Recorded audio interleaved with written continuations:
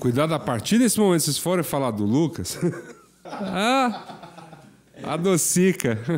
Informação é nosso esporte. mais, mais que nunca.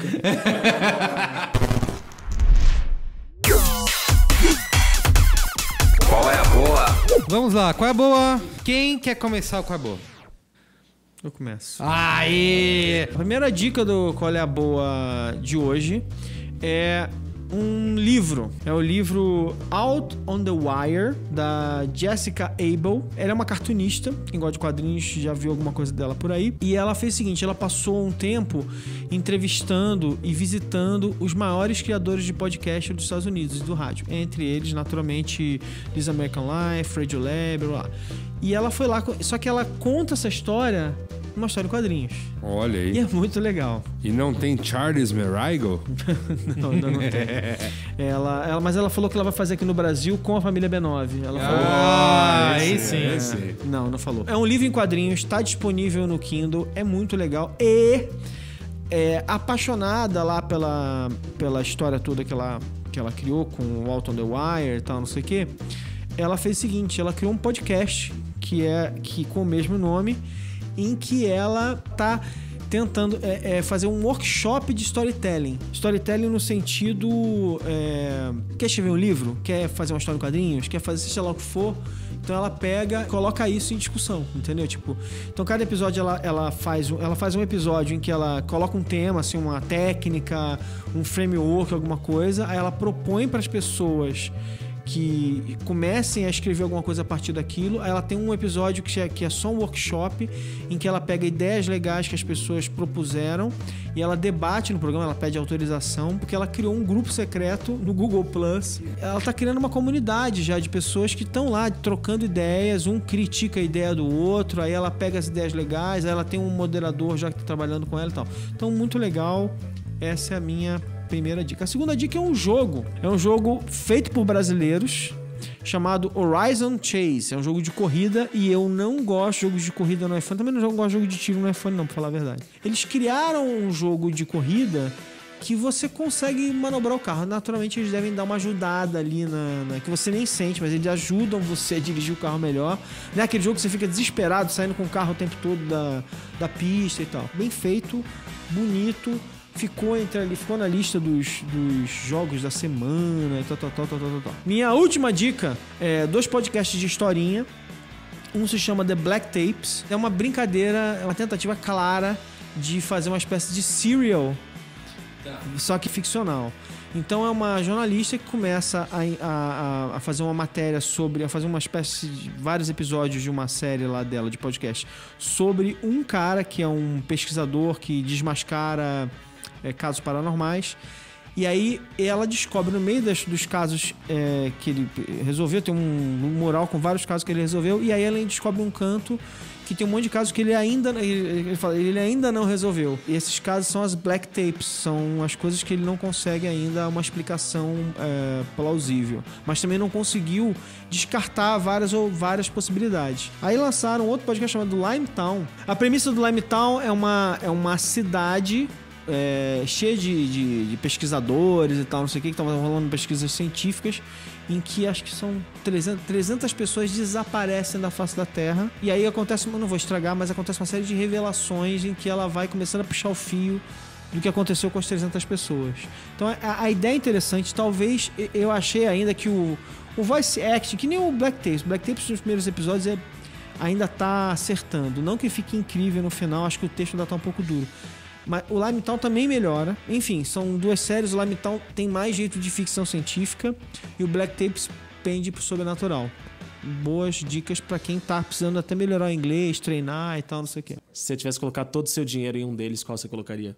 Eu colocaria no Zing. É o que eu tô fazendo agora. Ouça o Zing. Qual é o seu? Qual é a boa, Luiz Gino? Eu sou um, um grande fã do, do ritmo lambada, né? Eu, no final de semana, eu fui numa festa aqui em São Paulo, que é o- a cidade que a gente reside, chamada Lambalada. Eu fui parar sem querer lá. sem querer. Foi sem querer. A hora que eu cheguei no lugar é que eu sabia que era uma festa, porque tinha me falado que era o show de uma pessoa, que é o Felipe Cordeiro. E aí, o Felipe Cordeiro, justamente, ele é filho do Manuel Cordeiro. Manuel Cordeiro é uma das maiores lendas do carimbó, da lambada, da cúmbia, da parada do Pará. O Manuel Cordeiro já tem lá seus 70 e poucos anos. Ele ainda dança lambada rebolandinho? Cara, ele ainda, ele ainda rebola bem. E ele é um gênio da guitarra e da produção musical. Então ele produziu mais de mil discos, isso é real. Ele produziu mais de mil discos que envolvem todas essas esses ritmos aí. Um dos caras que o, que o Manuel Cordeiro é responsável pela, pela carreira, pelo brilho, pelo sucesso, pela luz, é o Beto Barbosa. Oh, Porra, que falou Beto Barbosa, você já- todo mundo já fez aqui, né? Ó, ó, a galera já, a galera já sentiu. Minha vida, oi, adocica meu amor, adocica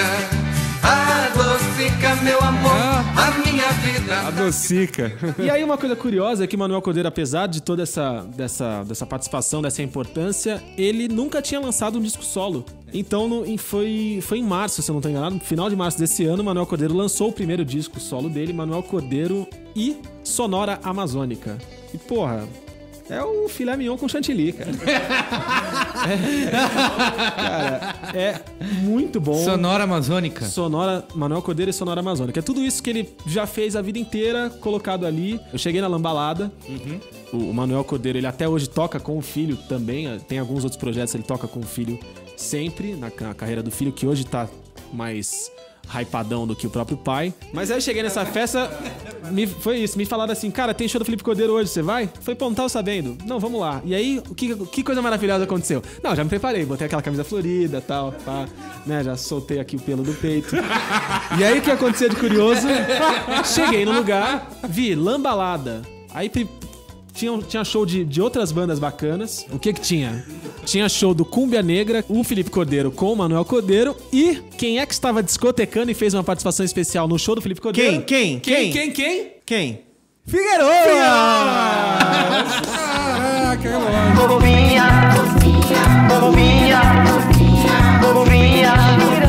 lá, mais doido que o Batman. e assim, andando, cara, completamente trelelê pelo. Enquanto o Felipe tava tocando, andando pelo palco assim, e a galera não, não muito reconhecendo o que tava acontecendo. Aí eu olhei assim e falei, Gilly Simons! Ele, Opa! Já veio, cara, já virou, abraçou, puta, mas abraçou a gente, mas pe- pegou na mão, conversou, tirou foto. Ele tava voando, que pessoa figuraça, figura boa. Ghibli Simon, você é o cara, bicho. E tudo isso regado a cachaçinha de jambu, que é o meu outro colher boa. Virou agora, virou agora. Cachaçinha de jambu. A cachaçinha de jambu, ela desce mais, mais amena do que a cachaça de cana. De cana. Não é? E ela dá dormência na boca. e treme, né? E, tre- Treme. e treme. Então, assim, cachaçinha de jambu, Manuel Cordeiro e Sonora Amazônica É o- a receita. é a receita. Posso fazer o meu cabo antes ou não? Eu assisti recentemente Everest.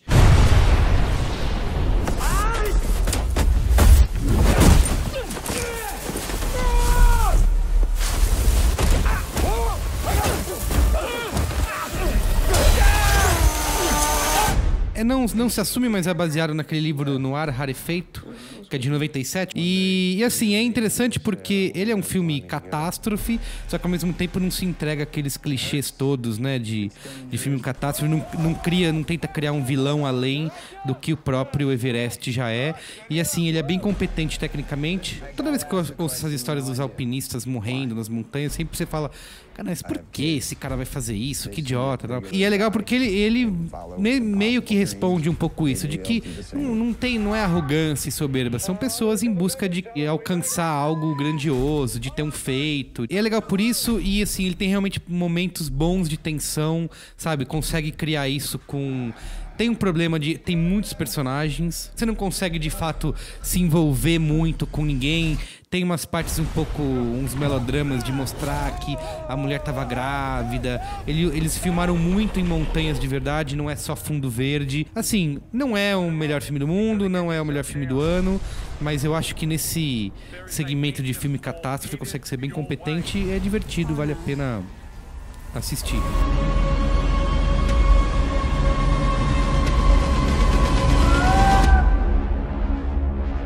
Luiz Assuda está aqui ainda com seu Qual é a Boa Maravilhoso. Manda ver. Então, para quem aguentou, né, um programa inteiro sobre o Twitter, os meninos se perguntou se ia ter coisas da rua. Uhum.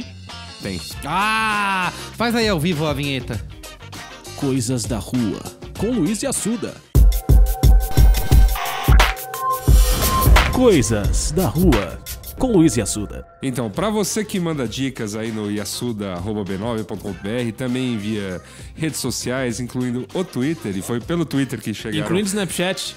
Snapchat também. É, o pessoal no Twitter, umas duas ou três pessoas pediram pra eu relembrar, já que você relembrou o Figueroas, naquele programa em que você citou o Figueroas, eu falei pela primeira vez sobre o caso do Cai José Estelita lá em Recife. Em 2008, um terreno da União, no cais José Estelita, localizado no centro do Recife, foi vendido para um grupo de construtoras no leilão questionado pelo Ministério Público. Essas construtoras são as mesmas que financiam a campanha eleitoral de boa parte dos políticos da cidade e do estado de Pernambuco. Em 2012, a Prefeitura do Recife aprovou, num processo duvidoso, um projeto de condomínios de luxo apresentado por essas construtoras.